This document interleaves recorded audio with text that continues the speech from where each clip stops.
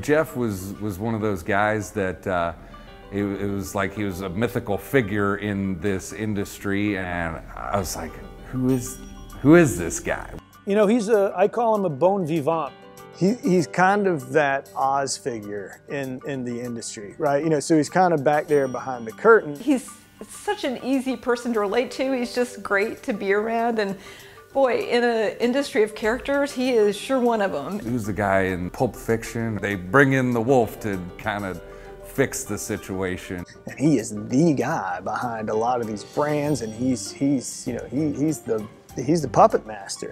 Uh, to know Jeff is he, he's not overtly cuddly like a teddy bear. Um, he's a pretty straight shooter, and I won't say that he, you know, sat down and held my hand and said, you know, it's going to be okay, because that would not be Jeff at all. But what Jeff did is said, you got to follow your gut.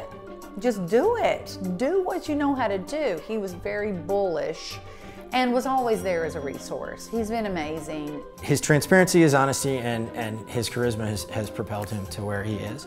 Uh, and I think that uh, I would not like him to hear that part because he'll get a bigger head, but whatever, he, it is the truth. He's done deals with Bacardi and Diageo, craft producers, celebrities, and athletes, and all types of stakeholders, including startups.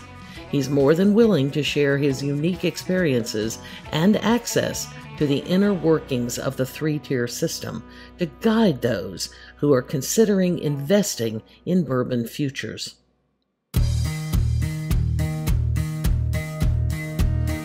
Jeff's helped me every bit of the way. He's been a great friend and a, a good partner to me in business uh, as a member of our board, but even bigger than that, just all of the things that he knows in our industry and, and uh, the people he knows in our industry have been important to me. Uh, Jeff is, uh, is a key player for sure in my experience.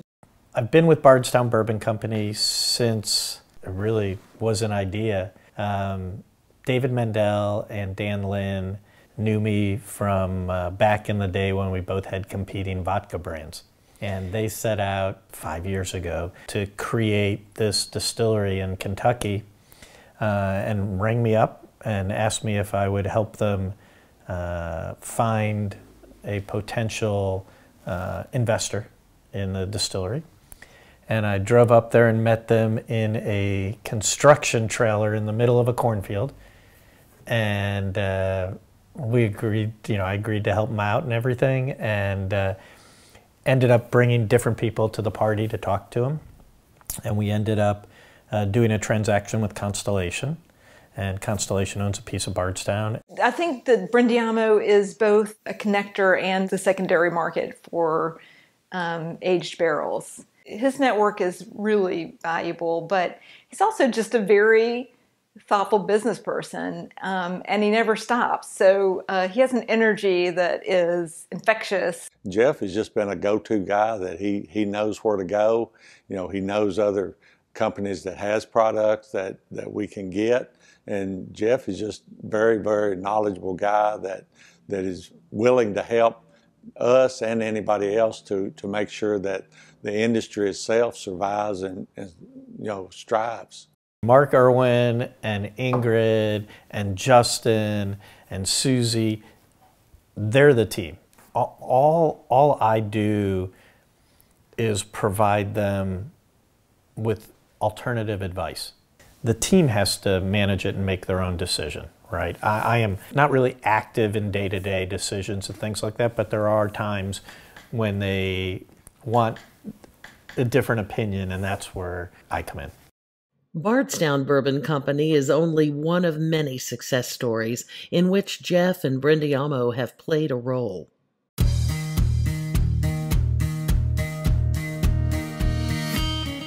Angel's Envy is a wonderful brand created in Louisville by the Henderson family. Um, I originally met Wes Henderson back in the day.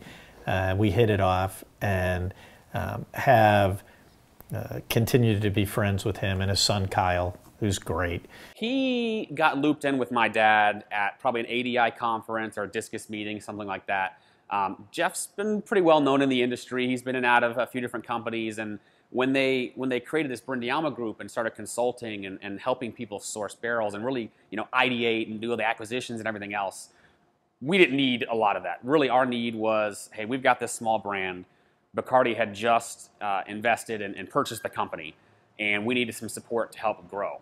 Um, Bacardi is very good at growing, but they have never done a whiskey before, or, or, at least an American whiskey. You know, they had Scotch and rum and vodka and tequila, but this is the first American whiskey. And Jeff had a really good knowledge of some of the players in the industry who may or may not be able to help us. Um, so we connected with him and the main purpose, the most of our relationship is about sourcing very, very specific aged whiskeys to meet profiles that we're looking for for special releases.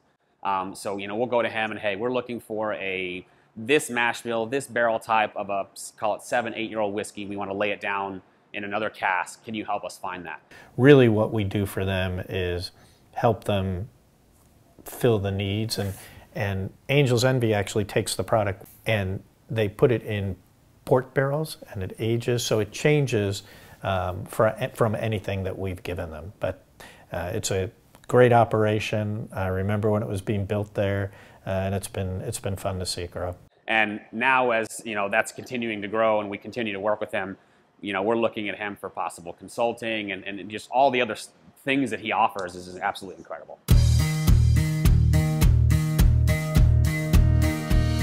I met Jeff about four years ago in Nashville. He uh, had visited us, uh, visited our distillery here in Louisville, and uh, we had a whiskey food pairing event in Nashville. You know, we immediately hit it off. I just, um, I thought that he's so knowledgeable, very well dialed in and connected to what the industry is about. And then on top of it, we both happened to be from Chicago or lived in Chicago for a long time, so there was that synergy as well. Kaveh is uh, another Chicago boy like me. Uh, we hit it off back in the day when he was starting Rabbit Hole. You know, he was very helpful in helping me find some personal um, barrels for my own collection, um, some of them which we now have used for Rabbit Hole. Um, but when I started the distillery as a producer, we were able to connect because we do um, quite a bit of contract distillation, or at least we used to do a lot more before when we first started. So it's a combination of both as procurement of barrels, but also from a standpoint of contract distillation for other folks that want to get in the business. And he obviously uh, manages and kind of arranges that as well. Much like uh, anywhere else, uh, I supply and help Kaveh source special barrels and special product uh, for his gaps in, in his inventory. Uh, I probably am a consigliere for him as well. Uh, and uh, just we, we bounce ideas, we bounce opportunities, uh, lots of uh, uh, fun conversations. As an immigrant to come to the States and be part of what is quintessentially American is just, honestly, it gives me goosebumps to think about it. Rabbit Hole, I'm able to leave a legacy that hopefully will be here long after I'm gone and be part of uh, my adopted home. And it's not just a few distilleries or brands that the Brindiamo Group has assisted. They offer expertise to a variety of companies and individuals.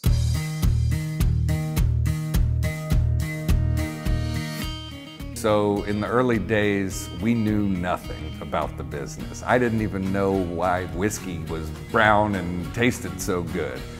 Um, we didn't know what we didn't know, and we were very fortunate to meet and come into contact with a lot of experts and, and industry veterans who were able to help guide us uh, on our path.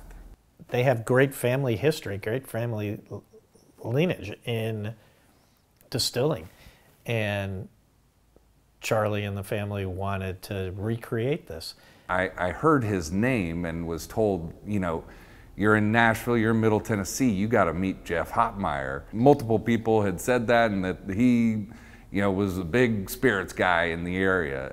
Back in the day when they were starting looking for capital, looking for investment. And it was a pretty um, rough presentation and, and rough financials and uh, lots going on. I mean, I remember the space that they're in and there wasn't a floor it was just gravel and i mean, I, mean I, it was I was like, what are you guys doing?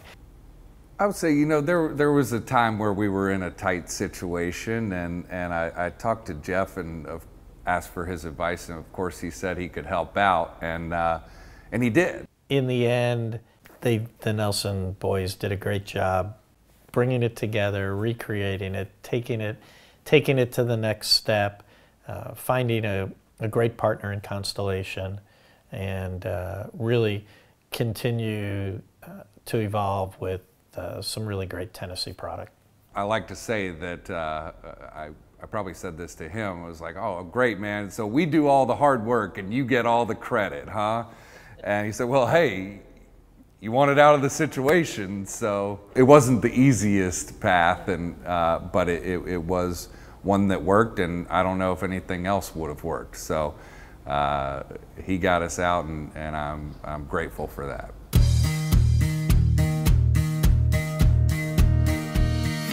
Dixon Dedman is the owner of the historic Beaumont Inn near Harrodsburg, Kentucky, that boasts an award winning restaurant as well as an acclaimed bourbon brand. Jeff helped Dixon grow his brand beyond the bluegrass state. I think one of the one of the greatest qualities about Jeff, at least on, from my you know perspective, is that that Jeff is a very very loyal individual. Jeff has helped me you know, both grow my brand, partner with somebody who could help me take it outside of Kentucky. Um, Jeff helped me, you know, with with kind of our, our liquid strategy and, and, and that type of thing. The guys at Bardstown Bourbon Company actually introduced me to him, gave me one of the temporary offices upstairs. We met with I met with Dixon at Bardstown because he wasn't sure what he wanted to do with the brand, uh, and I just looked and I said, eh, just sell it. Let's sell it. And he goes, well, I don't, you know, I don't think we'll get enough and this and this. I go, ah, we'll get enough. Don't worry about it. Uh, and we went down the path and we sold it and he was really happy. So he's, he's helped me in many ways, but probably more significantly than anything, it, it's just kind of on a, on a personal level as a, as a sounding board and, and, and, and an, an advisor.